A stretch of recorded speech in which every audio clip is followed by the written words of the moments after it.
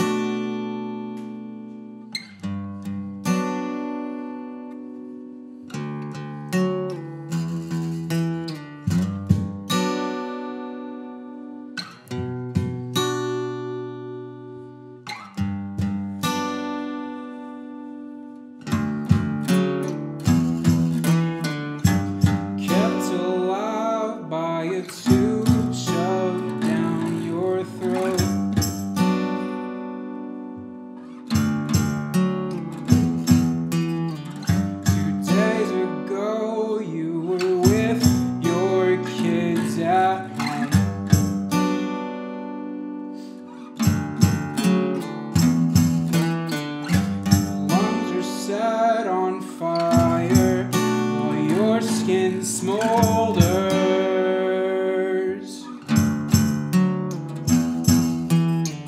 A week ago, you couldn't wait till this was over.